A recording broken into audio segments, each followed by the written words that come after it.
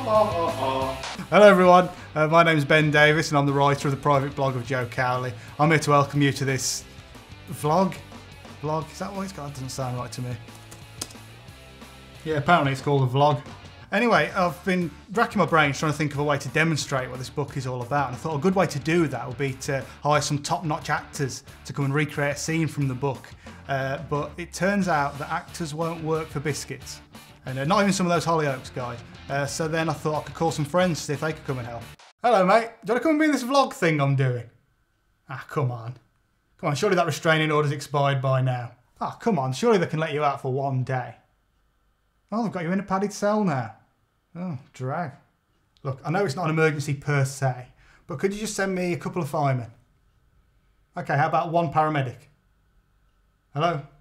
So it looks like I'm a bit stuck, but as they say, the show must go on, so I, like Eddie Murphy, I'm going to play all the characters myself. It's fine, it's fine, I trained at RADA. Everything's going to be okay. Uh, now, the scene I'm going to recreate is invol involving Joe and his two best friends, Harry and Ad. Now, Harry and Ad are always pestering Joe because they want to go to this thing called Buzzfest, and I think the best way to do that would be to fake a funny video and send it off to You've Been Framed for the £250 prize. Uh, but Joe doesn't want to do that because every attempt so far has ended up with Ad in A&E and he thinks one day it's going to be him. But this meeting actually isn't about that, it's about something much more important. It's about Joe and how he can get rid of his arch nemesis slash future stepbrother, Gav James, get him out of his life so he can finally snog the girl of his dreams, Lisa Hall. Now without further ado, I'm going to go and recreate the scene. I'm just going to be in my trailer, getting ready. And by trailer, I mean shed.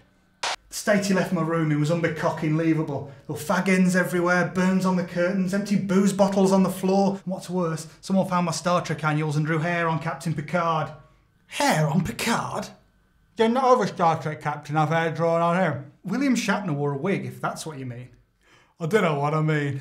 that one's going on his tombstone.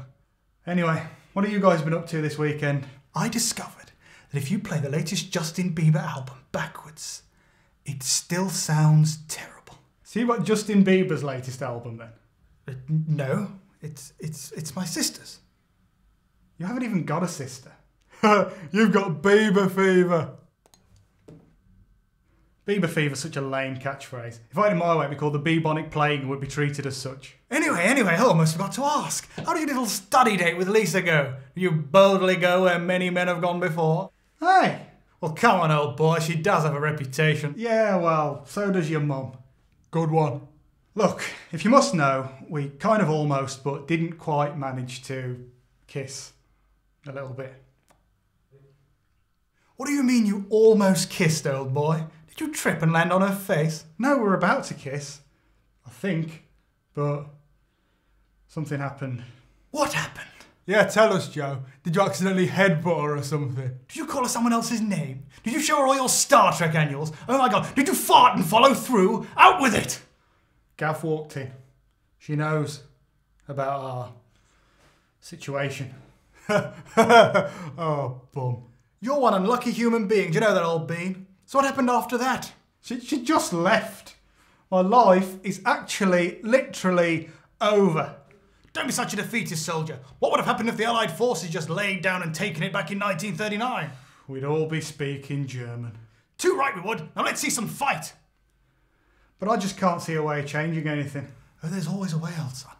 There's always a way. I picked that chip up off the floor, Harry. Hmm.